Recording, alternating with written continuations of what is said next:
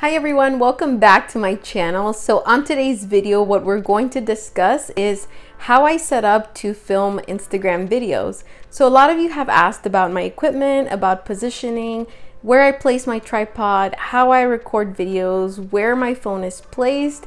So today we are going to discuss lighting, positioning of your tripod, any special backgrounds that I use on my table, where I actually film, and I'm also going to show you how I position my cookies, my cookie swivel, and my icing bag so that I make sure that they come out in the perfect frame for my Instagram videos. So let's get started. Okay, so the first thing that we are going to discuss is artificial lighting. As you can see here, I have two mini ring lights. This one is from Arkon Mounts, and this one I simply got on Amazon.com. Artificial lighting is very important in case you don't have time to film in the morning or during the day, which is when there is usually daylight. It's also very important in case your room or the place where you are filming is a little bit dark and doesn't have any means of natural lighting. Another source of lighting is definitely natural lighting. As you can see here in my kitchen, there's a huge window and this is preferably where I like to film because during the day, I really don't use a lot of the artificial lighting. I just use the help of natural lighting, which is definitely awesome. As you can see here, I also have a big ring light and this one does come with a stand that is adjustable to make it longer or shorter depending on what you want. And you can also adjust the tilt of the actual head here. So I'm going to go ahead and turn it on so you can see how bright it gets. It's pretty bright and now let me show you against an object. Here's how our cookie looks with just natural lighting and then here it is with a little bit of help from the ring light.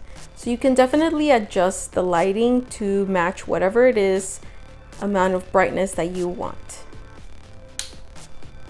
Now let's talk mounts. So here I have my Arkon mount and as you can see this is my preferred way of actually filming my videos because the head and the whole tripod itself is very flexible so you can actually make it longer shorter, twisted, or pivoted any way that you want so that you're able to get all the angles and the perfect views for your Instagram videos or for your YouTube channel.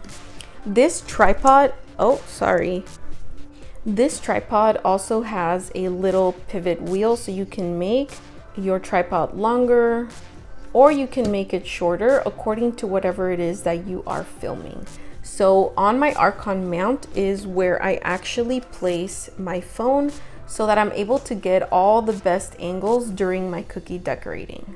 Now let's talk about positioning my lighting using other tripods or other objects since I only have one Arkon mount and then some cheapy little tripods and I'm being very transparent with you guys because that's actually what I use.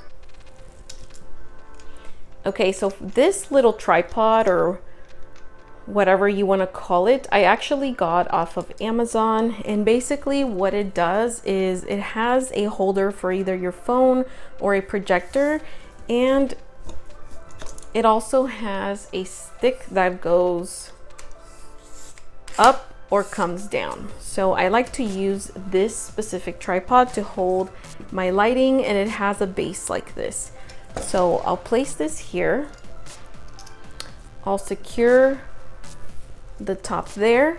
And for this specific tripod during nighttime or very early in the morning, I like to place one of my ring lights, turn it all the way up, and I'll place it at the top there so I can get lighting from every angle. For my other source of lighting or tripod, I do like to keep this ring light in the center to make sure again that I'm forming kind of like a circle of light. So in behind me, I actually have my window. I have this light. I'll have this light here and then the big, big light ring, ring light I'll have on this side.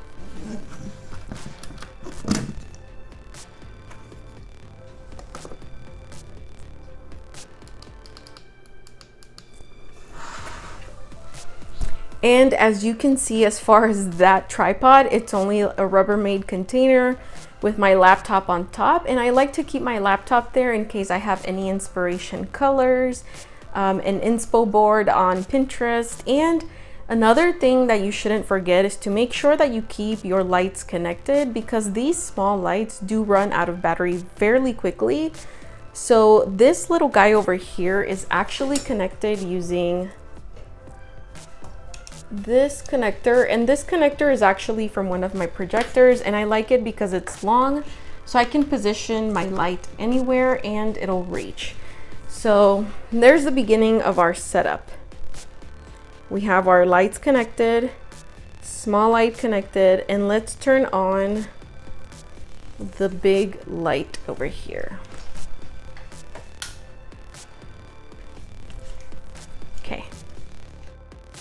So now we have a very well lit spot for our video. So now let me show you exactly how I position my Arkon mount to point this way so that you're able to see your Instagram video. Okay, so this is the view that I see when I am recording Instagram videos. So here you can see that my phone is pointing down onto my backdrop here is the entire setup from exactly how I position my mount so I can make sure to get the shot that I need. Um, usually I kind of position the mount or move it around the table or higher or lower depending on what angle I need or in case uh, the space that I'm using is too occupied I can just swing it around over on another part of the table. Now here is the part where I push in my actual cookie on the swivel and as you can see here I still need to position it to where it's in the center of my phone screen. So that's what I do in the beginning before I even press record is I just test out to make sure that I am able to see the swivel with the cookie right in the center of my phone. For this part, I always usually record horizontally. You can certainly record vertical. Um, this way you can repurpose your videos for IGTV and your Instagram feed. I just do it this way and it's worked for me. And here, just make sure that if you are posting this to your feed, that your cookie shot or the cookie swivel is right in the center because Instagram feed cuts to a square.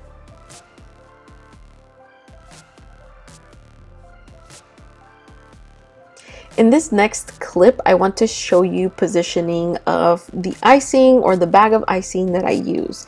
And before I actually begin any of, of the actual piping or flooding or outlining, I test out my hand with the angle to make sure that that is exactly how I want my hand to come out in the shot and also something very, very important regarding products when you are tagging um, the makers of the products and you want to include them in the shot, be mindful of the square that gets cut into the Instagram feed. And that's how I position my items here. And here I leave you with another few uh, photos just so that you can see exactly how the setup looks from different angles. I know this video was super wordy. There's like a bunch of information. Um, please let me know if there is any more questions that you have down in the comments. I really hope that it's helpful when you're trying your first Instagram video. And don't forget the most, most important thing is that you don't need all of these things, all of this equipment. If it's your first video, do it with what you have. Do it with the basics, just some natural lighting and your phone, and that's it. Post your video, make sure to tag me, and don't forget to hit the like button, subscribe, and share this video with a friend. Talk to you later. Bye.